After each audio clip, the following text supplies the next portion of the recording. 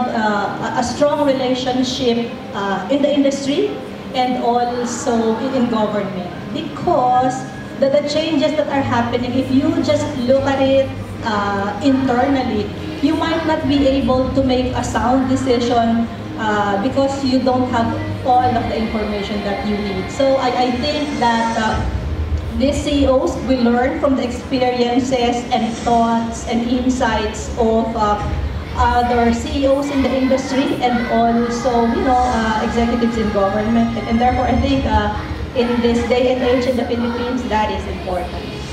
Um, you know, from we have baby boomers, we have Gen X, we have millennials, and now we've actually launched our, our brand, a new brand, and to be more youthful. That's why we're we're very excited to be presenting the Young Lead, uh, Young Leader of the Year award, um, you know, by living better. So very much focusing on the youth. It's we always say that you know it's not about the generation, but it's how we engage employees uh, and, and develop people. So we always focus on the customer. We focus on people. When we say we focus on people, that's people, capabilities, and culture.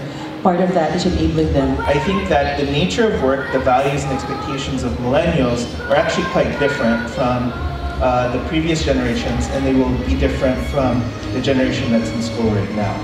That's kind of scary because we just got adopted to millennial terms now. The Gen Zs are completely different. But millennials, first and foremost, are engaging and are looking for jobs, even here in the Philippines, uh, where they can learn first. And they care about what they can learn uh, even as much as they care about compensation. So I'm not saying it's more important than compensation, it's equally important.